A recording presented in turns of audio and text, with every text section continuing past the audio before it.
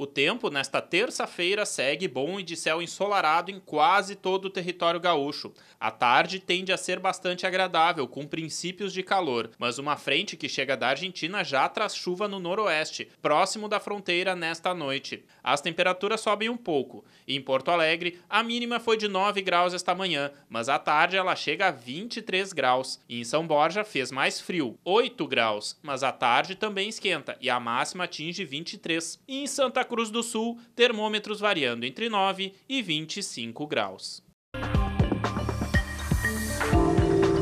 O Colégio Batista na capital está com uma campanha de solidariedade. Até o final de agosto, alunos, pais e toda a comunidade estão sendo convidados a doar 15 centímetros do próprio cabelo. A escola virou um ponto de coleta, mas também de discussão para o incentivo às pessoas que passam pelo tratamento do câncer.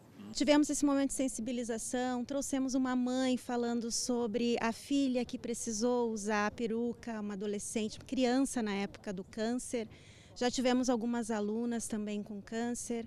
Então a gente resolveu trabalhar esse, esse princípio, essa empatia, né? essa compaixão, esse olhar para o próximo. As iniciantes na doação admitem que a causa nobre foi essencial para encorajar o corte de uma meada dos cabelos. A primeira vez que cortei meu cabelo, bem curtinho pelo ombro, eu tinha seis anos. Depois eu me arrependi no dia seguinte, peguei trauma. Nunca mais deixei ninguém cortar mais três dedos no meu cabelo. Só que daí depois eu pensei bem, é algo que, tipo, para uma menina principalmente, ter teu cabelo é bom, porque tu se olha no espelho e vê, tá, eu sou bonita, eu tenho um cabelo porque eu não sei como é que é ficar careca, eu não, eu não passei por essa situação. O nosso cabelo está crescendo e tem gente que já perdeu e é importante para essas crianças ter o cabelo dela, sabe? Se olhar no espelho e ver o teu cabelo, mesmo que tu não ache ele bonito, é importante, tu se sente melhor. Agora, elas serão como a Lisa Vitória, exemplo de quem tomou gosto por ajudar. Sempre desde pequena, assim, quando eu corto meu cabelo, eu já penso, eu vou doar